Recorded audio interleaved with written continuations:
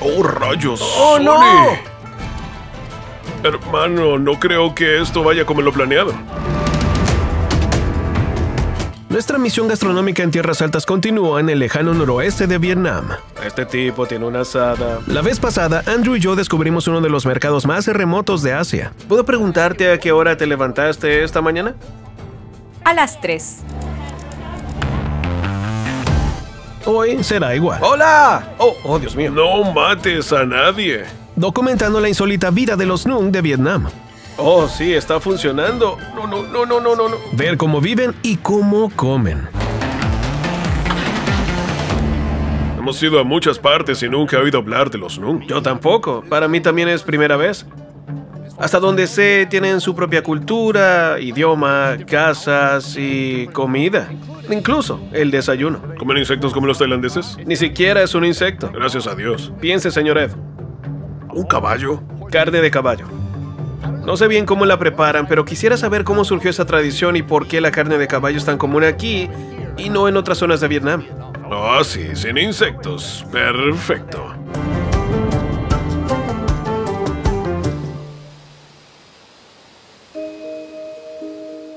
Buenos días, señora. Gracias por este delicioso desayuno. Antes de empezar, mi primera pregunta es, ¿por qué caballo? La señorita Yui forma parte del millón de Nungs que vive en Vietnam. La mayoría se encuentra en estas tierras altas del noroeste. Hoy, para desayunar, está preparando una receta tradicional. Sopa hecha con carne de caballo, una opción poco común de proteína que no se encuentra en la mayor parte de este país.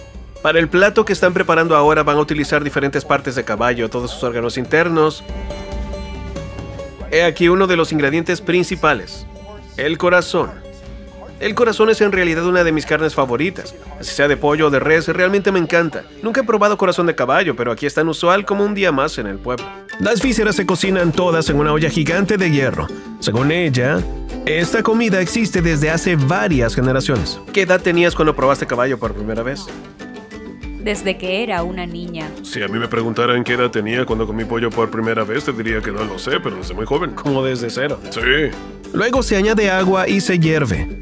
Se añade cardamomo, anís estrellado, jengibre y canela.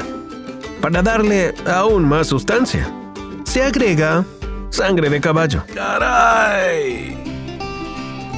Por último, se le agrega varias especias. ¿Siguen usando caballos aquí para otras tareas o es solo un animal comestible? No, para otros usos no mucho, solo para comer. Aquí es útil solo como proteína. Mm, Vamos a probarlo. Pusiste un montón de partes de caballo aquí. Veo que hay hígado, intestino, hay también... eh, ¿Qué es esto? Es solo carne. ¿Solo carne? Solo carne normal. Buen apetito. Mm, por favor. Sabes, si eso está muy rápido, en un par de horas, lo rompió todo, lo guisó y está sorprendentemente suave. Es muy bueno en realidad. ¿Qué tan a menudo comen caballo? Dos o tres veces al mes porque la carne de caballo es un poco más cara que las otras. Es la frecuencia con la que como pizza. ¿Quieres probar corazón? Me encantaría. Es delicioso. Súper bueno, amigo. Maravillosa textura. Sí, un poco crujiente, pero no es nada chicloso. Eso es fantástico. ¿Puedes decirle que el corazón de este caballo tiene mi corazón? ¿De verdad? Nó ấy. Y ustedes dos no hablan en Nung, No, solo en Moon o vietnamita. así que sabe un poco de esos idiomas. Sí. ¿Podrías contar hasta 10 en lengua giờ mà. Đều, xuống, tám, phỉ, hạ, sóc, xét, biệt, cầu, tiếp. Los Nungs de Vietnam emigraron de China hace unos cientos de años. A diferencia de los tailandeses de Vietnam que se asentaron cerca de los ríos, los Nung tienden a poblar las regiones más montañosas. Siembran arrozales escalonados en las laderas de las montañas para poder seguir cultivando arroz. En el noroeste la mayoría de las casas son de madera, pero aquí son de barro. Aprovechan su entorno y utilizan arcilla y tierra de campo para construir sus propias casas de dos plantas. Esto es poderoso. El único problema con la arcilla es que con el tiempo se puede deteriorar y se forman grietas. Así que tan pronto como comience a agrietarse se rellena con cemento. Con el tiempo o bien tienen que encementar toda la casa o construir eh, una nueva. Los Nung son conocidos como agricultores muy trabajadores. No es raro que pasen todo el día en el campo. Hoy en día, esta rutina está empezando a cambiar. Todos los días va a la granja. Por la mañana va a dar de comer a los animales. El miércoles y el viernes prepara pho para venderlo. Andrew, estoy muy emocionado con lo que vamos a ver. Yo también. El pho es uno de los platos emblemáticos de Vietnam. Gente de todo el mundo lo ha probado, pero pocos saben qué es el ban pho y cómo se prepara. Viene en forma de fideos. Creen que eso es lo que es, ¿verdad? Cierto, creen que empezó como fideo. Sí. Pero comienza como estas grandes hojas de masa de arroz. Y esta es la forma original en que se hacía antes de las fábricas, antes de la producción en masa. ¿Están listos? Estoy listo. Hagámoslo. No se ven tan emocionados como nosotros. Los típicos videos po vietnamitas suelen hacerse con arroz remojado que se deja en agua toda la noche antes de molerlo. Aquí se utiliza arroz blanco y arroz rojo como base. ¿Cuántos kilos de ban pho tiene que hacer? En un día vende como 20 kilos. 44 libras solo en los fideos. Sí, es un montón de comida. A continuación se cuece una porción de esta misma masa y se vuelve a mezclar con más masa cruda. La masa está lista. Es hora de cocerla al vapor. Básicamente lo que tenemos aquí es como un vaporizador de leña gigante, ya veo. Tenemos una barbacoa justo entre mis piernas y este recipiente gigante, solo agua caliente que pasa a través de esta tela coladora muy finamente estirada. Como se puede ver, la masa de arroz va a ser finamente extendida por la parte superior aquí y va a endurecerse a medida que pasa por el vapor. Hace un calor del demonio y no sé por qué. Siempre me dan trabajo cuando estoy al lado de la barbacoa. En menos de dos minutos el arroz licuado se ha vuelto sólido de nuevo. Se enrolla utilizando un tubo gigante de PVC y luego se deja enfriar antes del siguiente paso. Y ahí lo ven, una hoja entera de pho. Y de aquí viene el pho. Es solo una gran hoja de fideos. Oh no, mi hoja. De esta gran hoja que ven aquí se harán alrededor de dos o tres tazones de fideos. Por favor, muéstranos cómo.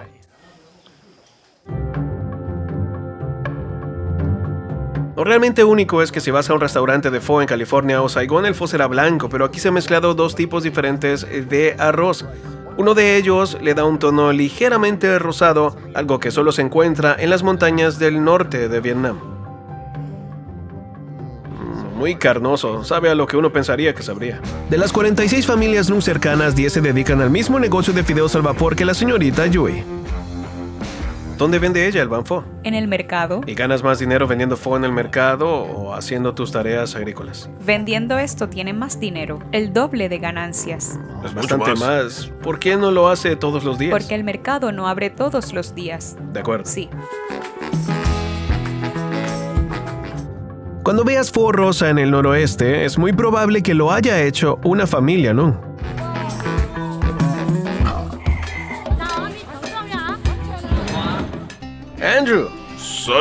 Hola. Oh, Dios mío. no mates a nadie. Intento no hacerlo.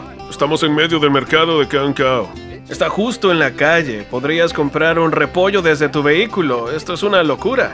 ¿Crees que es autoservicio? ¿Crees que podríamos pedir algo? Deberíamos intentar. Es el mayor mercado de ganado de la región. Multitud de hombres y mujeres de las etnias de los alrededores se reúnen aquí para comerciar no solo con ganado, sino también con bienes comunes como ropa, plantas y por supuesto, alimentos.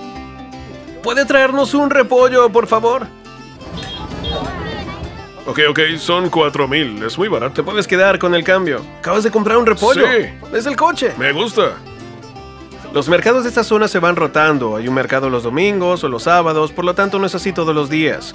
Es más o menos una vez a la semana, pero algunos de estos vendedores son solo ocasionales. Van de ciudad en ciudad o de calle en calle visitando diferentes mercados en diferentes días de la semana. Para reservar este comedor todo el año, la señora Yui paga una suma anual de 20 dólares. Mientras ella prepara su restaurante, Andrew y yo tenemos algo que ver. En realidad este mercado es famoso por su foso de búfalos. ¿Un foso de búfalos? Es el animal de granja más caro que se puede comprar. Tiene sentido, es un animal grande. Así que iremos al mercado de búfalos en cuanto encontremos aparcamiento. Genial.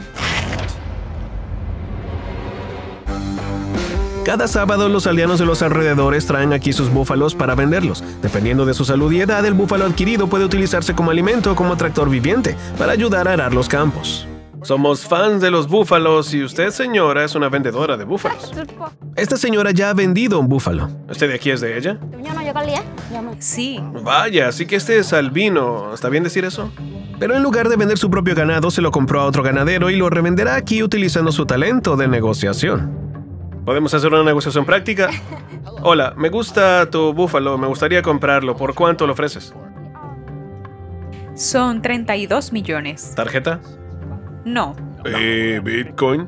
¿Bitcoin? Cada uno de estos búfalos se venderá por unos 1.500 dólares. En el pueblo no tenemos cajeros automáticos, así que solo en efectivo. Así que la gente va al mercado con miles de dólares en efectivo. Sí.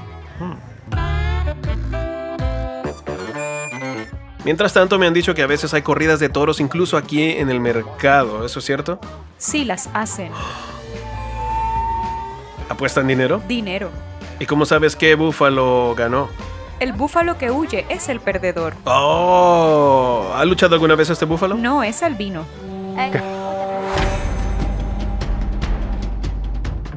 Estos toros no necesitan provocación. La lucha está en su ADN e incluso forma parte de la vida de la manada en libertad. Pero incluso en la naturaleza, Hay dos búfalos, hay uno aquí arriba y uno allá abajo. uno o ambos animales pueden acabar gravemente heridos o muertos. ¡Rayos, Sony! ¡Oh, no!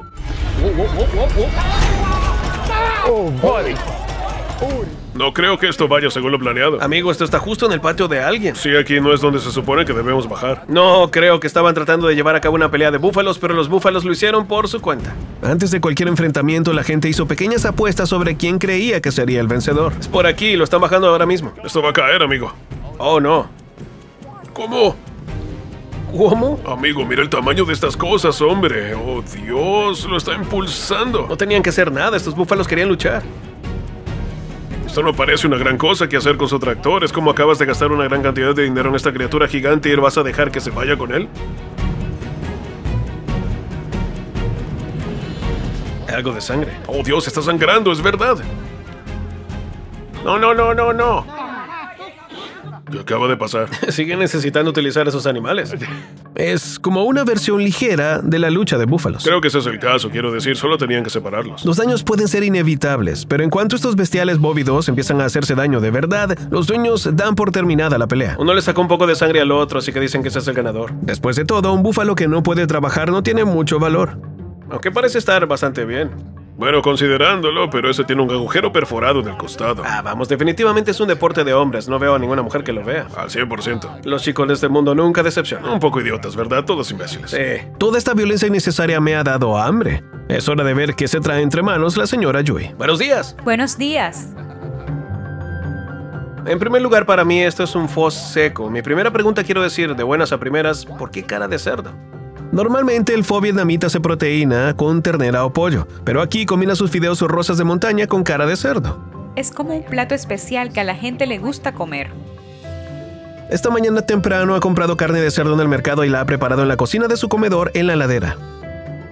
¿Cuál es su parte favorita de la cara de cerdo? La parte de la mejilla. Súper tierno, estoy El sorprendido. cerdo es como la comida perfecta, realmente no tienes que añadir mucho. Sí. Ya es rico. Cuando está listo, combina los fideos con cacahuetes, menta, albahaca, glutamato y un poco de condimento en polvo. Por último, remátalo con una combinación de cortes de carne inusuales y una parte de carne inusual. Sé que el color proviene de la mezcla de tipos de arroz, pero ¿por qué lo hacen de color rosa? Por el olor y un poco por el sabor. Se nota que el fideo blanco sabe un poco diferente. Creo que tiene un sabor diferente. Tiene más sabor a harina integral que el pan blanco o el pan integral. Ya lo veo, toma algo de sabor de los cacahuates, de las hierbas y se supone que debes mezclar un poco de la carne ahí también. Pon todo eso junto, tienes un poco de grasa, un poco de carbohidratos, un poco de proteína, esos son todos macros.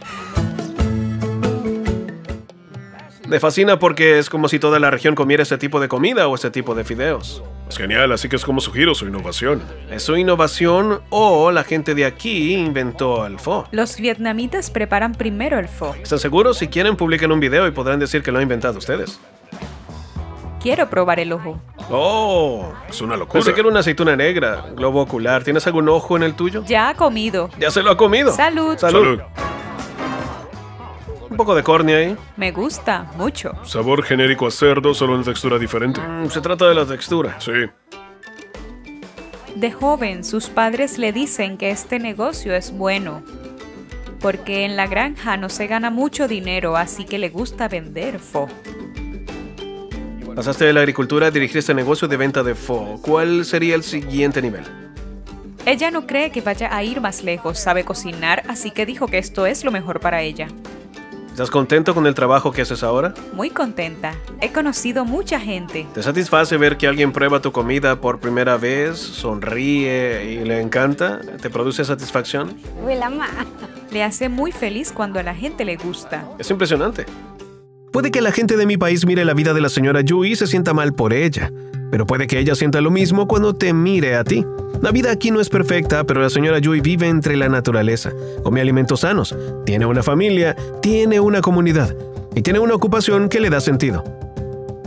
En una tierra donde no existen los 401ks ni las casas de vacaciones, la señora Yui es más rica y feliz que la mayoría.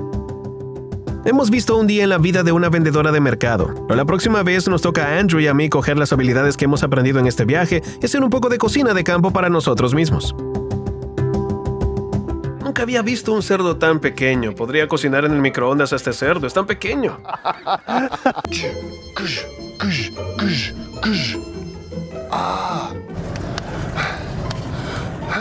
Así que aquí ella tiene un cuchillo de dos mangos y acaba de hacer pequeños, pequeños cortes. Ya sabes, repite eso mil veces y tienes 44 libras de fideos para llevar al mercado.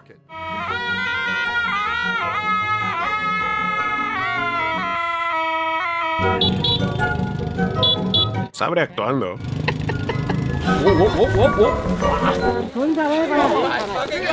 ¡Boom! Otro video terminado. Espero que lo estén disfrutando. Nos queda un episodio. ¿Solo uno? Solo uno. Vaya. La diversión está a punto de terminar. Puedes suscribirte al canal de Andrew aquí mismo, ver sus videos y enterarte de lo que se traen entre manos.